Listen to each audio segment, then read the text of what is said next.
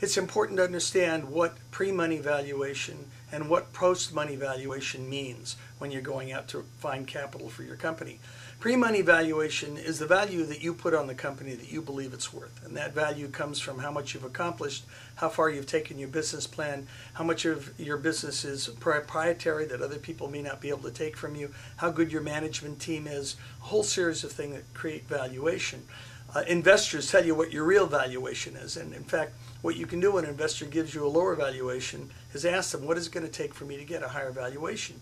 The higher your valuation, the less you give away in your company. Simple rules. Pre-money valuation is the value that you set on the company. The amount of money that you raise uh, added to pre-money valuation gives you post-money valuation. The bottom line is that you take the money you've raised, divide it by post-money valuation, and you know what percentage of the company you're giving away to your investors. So if you have a pre-money valuation of $2 million, your raise is a million dollars. Your post-money valuation is 3 million.